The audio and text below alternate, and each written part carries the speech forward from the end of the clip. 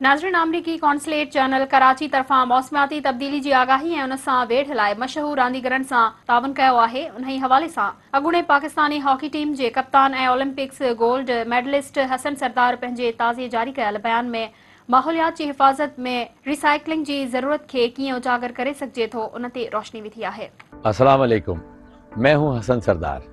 मैं आज अमरीकी कौंसल खाना कराची में अमरीकी और पाकिस्तानी साथियों के साथ आपको रिसाइकलिंग के फ़वाद पर आगाही फराम कर रहा हूँ।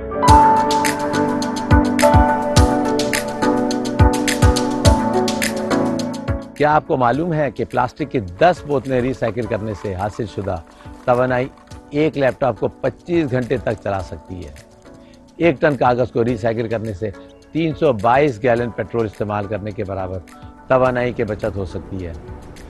एक टन एल्यूमिनियम के डब्बों को रिसाइकिल करने से 21 बैरल के बराबर की तेल की बचत होती है। रिसाइकलिंग से माहौलियाती आलूदगी कम होती है, जो कि ग्लोबल वार्मिंग को रोकती है। रिसाइकलिंग से तोानाई की बचत होती है। रिसाइकलिंग कुदरती वसाइल को महफूज करती है और जंगली हयात को तहफ़ देती है।